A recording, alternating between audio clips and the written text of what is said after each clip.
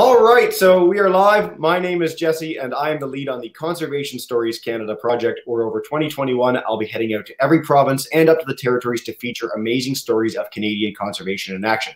So, over the course of this virtual interview series and the lead up to my travels, I've been covering stories coast to coast across the country. And today, I'm throwing that all out the window to talk to a scientist whose work has taken her far away from Canada's but I just couldn't pass up the opportunity to talk to Dr. Emily Darling. She has gone all over this planet. She's been lauded by a huge amount of organizations. Her work's been featured on PBS, CNN, National Geographic, and more. Emily, thank you so much for sitting down with me today. I really appreciate it. Hi, Jesse. It's such an honor, and I'm so glad our paths finally crossed, even in this virtual interweb space. And it's such an honor to be here. Thank you so much.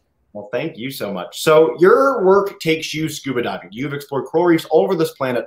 And so, for people that might not know, this is increasingly becoming a news story as coral bleaching. But could you explain a little bit about what exactly that is?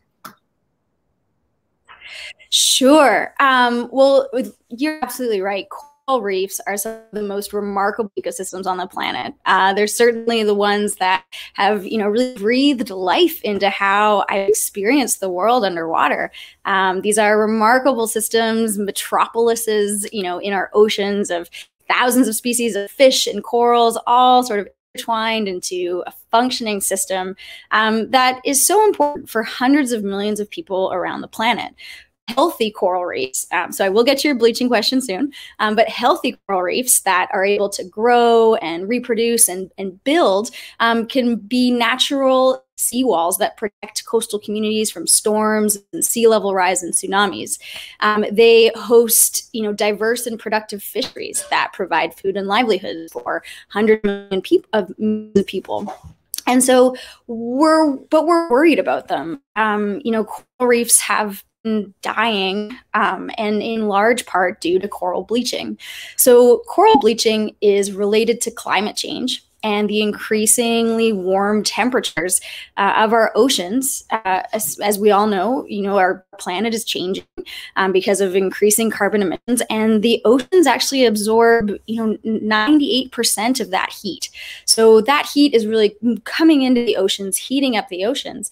And for corals, that means that they're also experiencing much hotter summers, much hotter winters. And because corals are tropical animals, it means that they're they're pretty pretty good in hot weather, being in the belt of the equator around our planet. But we're worried because they're already living at their threshold normally or naturally. And so as climate change keeps up the temperature in the ocean, they just have they have no space to to tolerate that. And so coral bleaching is a sign of that. It's a stress response where um, the algae, these little cute symbiotic algae that live in the coral tissue, um, that relationship, which is so important for the coral, breaks down when it gets too hot. And so that algae, which is very colorful, leaves the coral. The coral is then bleached or white. And basically, that's a sign that the coral is starving to death because it doesn't have um, this energy from the algae anymore. And so um, when warm waters rise uh, during El Ninos or other, you know, climatic events, this can cause mass coral bleaching. Where, as we've seen, the Great Barrier Reef in Australia has bleached three times in a row, and that was something that's just never been recorded, um, you know, from scientific records or even from Indigenous cultures and, and oral history um, in parts of Australia. This has just never been seen before. So, a lot of my work has been trying to understand how can we bring together together surveys, not only of coral reef health, but also of these devastating bleaching events to try to understand um, what are the future trajectories for coral reefs and what can we do as conservation scientists, as applied ecologists, to really put our, our science our mouth is and uh maybe that's not the right analogy but you know put our science where our mouth is to really Im- Im- improve and impact society yeah, I think that's a beautiful and definitely a unique analogy in the history of this program. So thank you for that. Um, so coral bleaching, I mean, it, it's an issue. We're, we're facing, you know, not just bleaching, they're facing so many threats. We're, we're losing coral reefs around the planet. If you're in Canada, if you're in Saskatchewan, why does this matter to you? I mean, other than the, the knowledge that we're losing this diversity, we're losing this beauty, why should we care, really? I mean, I think we know why we care, but for someone who's never heard of this before as an issue, what's the interest? Yeah, absolutely. No, I think that's a really important question. And I think there's a couple different ways to approach that. Um, one is that, you know, coral reefs and healthy oceans are incredibly important to us as humanity.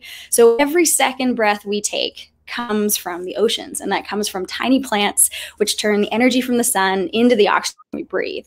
So, having health oceans and coral reefs are an important, very important part of that. Uh, is important to having a functioning planet that continues to provide us um, with things that we use every day, right now, in fact, like oxygen. You know, but I think more broadly, as as a Canadian, I think as Canadians, we really care about the rest of the planet. And I think that's part of our our values of who we are. You know, from Lester B. Pearson setting up the UN peacekeeping organization um, you know, from the Red Cross who provide clean water and humanitarian response to people around the world from facing, you know, conflict zones or disasters. I think Canadians we, we really care about the rest of the world, um, and I think part of that comes from the the types of opportunities and nature that we have here in our country. So I live here in on the Great Lakes, which is one of the world's largest sources of fresh water.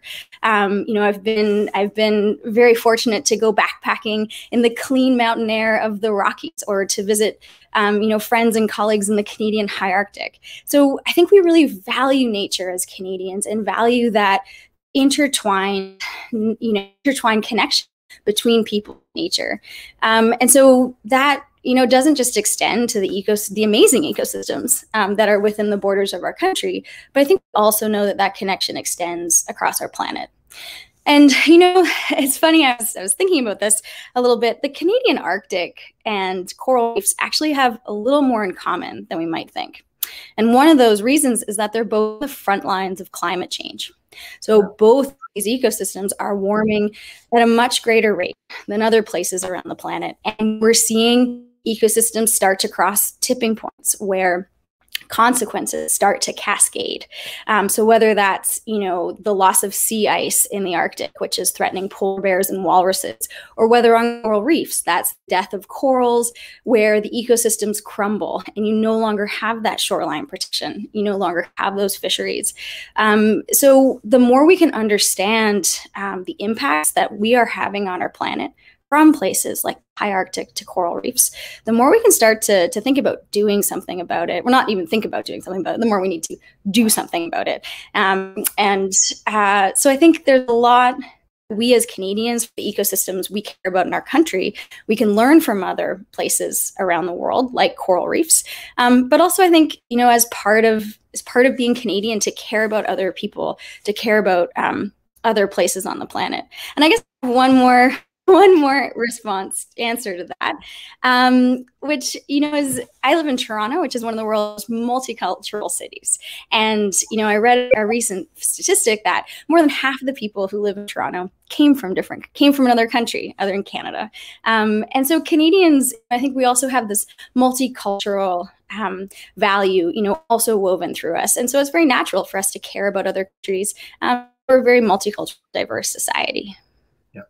That is a beautiful and thoughtful answer and makes me feel more patriotic than ever. So uh, thank you for that, Emily. Uh, you talked at the end of that about implementing solutions. And so this is where my knowledge ends and yours takes off is how do you implement solutions? If you're losing coral reefs, I mean, climate change is such a big issue. It's something that we can all take part in doing, but concrete action on the ground. If you're in Indonesia and you're trying to protect a reef, what can you specifically do? What does that actually look like um, in the locations that you've had the, the luxury of visiting? Yeah, absolutely. Great question. So, you know, there's two really important things we need to tackle to save coral reefs. The first is obviously getting a hold on climate change. We need to reduce carbon emissions. We need to decarbonize our societies. We need to really take on renewable energy, wind, solar, better approaches that are more sustainable for our societies and our planet on board. That is one of the most important things to save coral reefs, uh, uh you know, globally by bringing temperatures down below those thresholds that corals can tolerate and survive. So basically avoiding that coral bleaching we've been talking about. Um, but as you say, there's still very important actions we can take on the ground. So one of the most important things about climate change and bleaching for reefs is that it's not a blanket effect on the planet. It's variable. There's variation, and so you know, unfortunately, that means there's going to be some reefs that are hit more, uh, you know, more than average. Um, but there's also, you know, the side of that is that there's reefs that are escaping coral bleaching.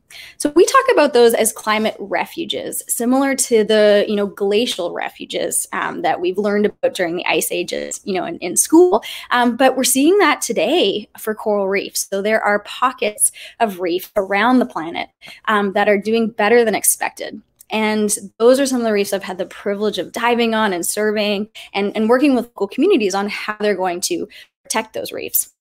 So, by identifying climate refuges or functioning coral reefs um, that still you know have a lot of biodiversity that have those ecosystem services and functions um, that that communities want um, that's where we really need to tackle local threats so, in places where destructive overfishing, like through bombs or poison or overfishing, can tip an ecosystem into an unbalanced state, um, sustainable fisheries management is a really important action um, that can achieve not only biodiversity goals, but also, you know, allow people living um, living on the coast access to uh, better quality fish, more better prices for their fish. So you can really achieve social, economic, and ecological goals if you have you know appropriate fisheries management. Um, another really good example of a local threat to tackle be um, water pollution. So corals are very sensitive, not only to temperature, but also to kind of anything else going on in the ecosystem they don't like. Um, that includes having too many nutrients or too many sediments coming from land-based, you know, agriculture or logging. So coral reefs live on the coastal margins, which means they live right next to land. And so any, you know, um, pollution that's running off from land can then smother a reef.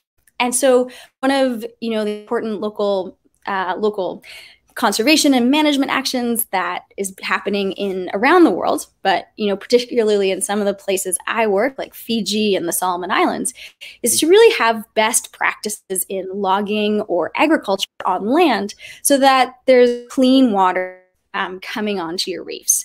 And that can allow your reefs to to reproduce to grow recover from events that are unpredictable like cyclones or or obviously the increasing you know frequency of coral bleaching um, so cleaning up water, doing better practices on land, having more sustainable fisheries, um, you know, those are some of the the key uh, actions we can take. And those actions are actually really important because they've been identified through a recent global analysis we've just completed as tackling the top threats to coral reefs.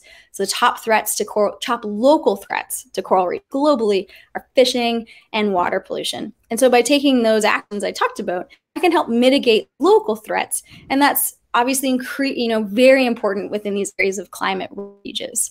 If you have a functioning reef in a place that is escaping this coral bleaching, um, that's not where you want to you know have dynamite fishing, or that's not where you want to have um, you know a lot of sediment coming up from a logging operation. Those are reefs that are really going to be important uh, and an important blueprint as coral reefs recover. You know, as as soon as we get this climate change thing under control.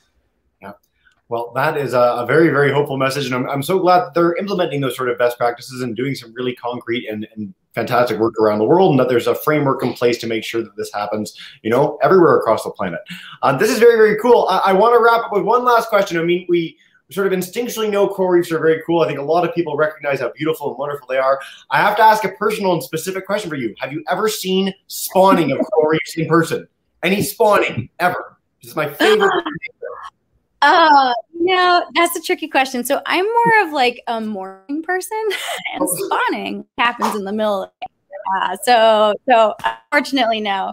Um, but you know, I certainly have seen a lot of remarkable things um, on coral reefs.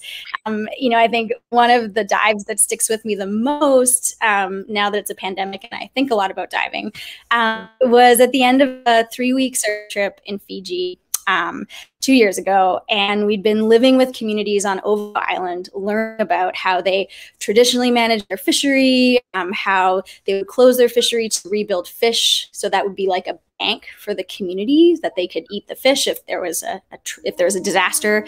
Um, a cyclone came through, so they opened their fishery to be able to feed everyone. Now they're closed again to prepare in case another disaster comes along. Um, so it was this very hopeful message, and you know we were doing some surveys right near a river mouth, and so that's where you you naturally get a lot of sediment coming onto the reefs. Um, and those usually aren't the best dive sites. Like those are not the ones in National Geographic. Um, so, you know, you can kind of barely see the end of your hand. It's brown, it's kind of gray. The light is filtering through the sediment. Um, the corals sort of look a bit sad and murky. And you're kind of like, man, like, how much longer this dive to do um, and then, you know, there's this little glimmer of a gold sequined blue damselfish just out of the corner of my eye. And I'd finished my transects and my, you know, my science by then. I had some time to kill. So I, I swam over and I just ended up being transfixed by this little gold sequin blue damselfish just doing, you know, doing his job, going about his daily life, which for a damselfish on a coral reef means um, farming a lot of algae. They have their own gardens. And so the clipping the turf algae with his teeth, um, kind of like um, mowing your lawn so that it grows back more productive so that he can eat more algae later. But he was just, you know, motoring along, doing his business. I came right in close and he kind of came, you know, zoomed right up to my goggles and started kind of, you know, tapped on the lens and was like, okay, you're in my space and like went back to his work. And I just realized, you know, this this reef that he's on isn't the best reef in the world. But you know that didn't that didn't stop him from you know being very industrious about making his own little patch of garden. Um, and you know i'm hoping you know have his own spawning event and have his own you know have their own babies and uh, you know to to carry on the, those reefs and, and that damselfish into future generations.